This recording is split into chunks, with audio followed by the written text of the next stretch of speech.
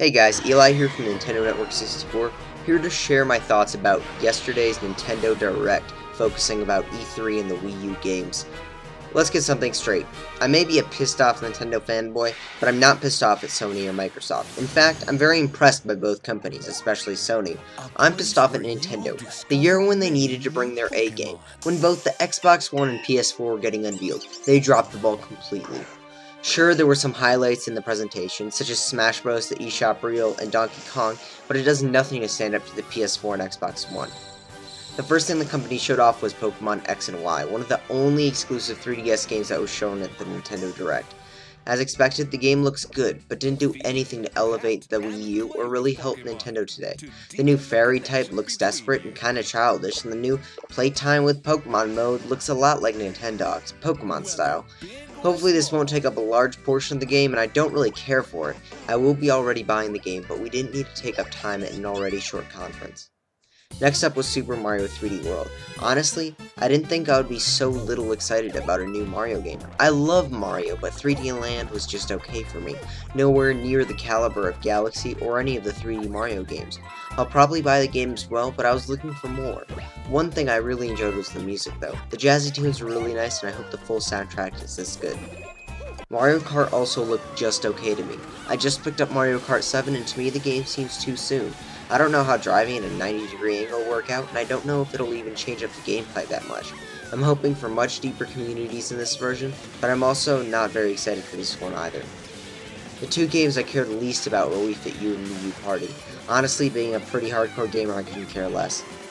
I wish that the Wii U was getting some sort of exclusives, at least in regards to the DLC, as most third parties have either left the Wii U entirely or not caring about the Wii U with their versions. Come on Nintendo, you have billions in the bank. You can afford to bribe some third parties, waive some fees, fund some games like the Wonderful 101 or Bayonetta, and get your shit together. Third parties are looking at the Wii U as a joke, and it's your job as a console manufacturer to fix this. Microsoft and Sony both get it, Microsoft less so in terms of online, but you need to pick this up. The highlight of the conference for me was the indie reel.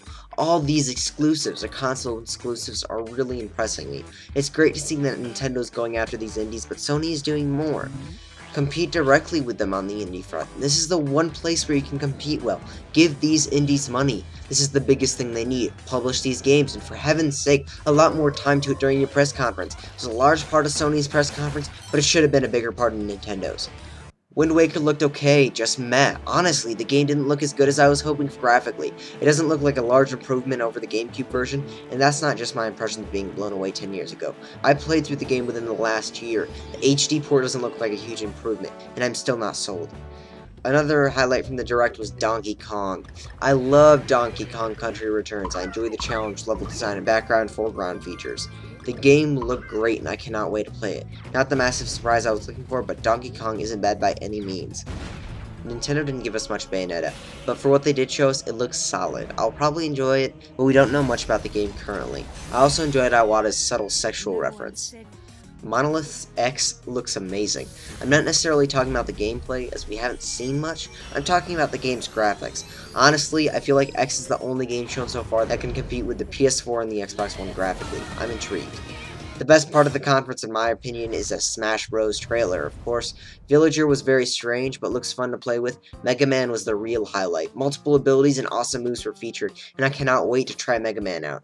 I'll probably be picking up the Wii U version, but I may pass on the 3DS one. And what the hell is up with the Wii Fit U trainer? Come on, are you really running out of that many ideas? Overall, Nintendo's conference was mediocre, average. They couldn't stand up at all to Sony or Microsoft which is what they needed to do most at this E3, Nintendo needed to prove that the Wii U is a must-own console, and they failed to do so this year. Notably missing from the Nintendo Direct was Zelda and Sonic. I would have liked to see more, and most of the games shown didn't impress me. I love Nintendo, but they're not doing it for me right now. They need to get their shit together, show me the stuff that I want, and make some new IPs. It wouldn't hurt to buy a cloud service either, as like the Xbox One, the Wii U needs to be able to get more powerful as time goes on. Thanks for watching, guys. I really appreciate it. Please don't forget to rate, comment, and subscribe. It really helps. And see you guys next time. Hopefully I won't be pissed.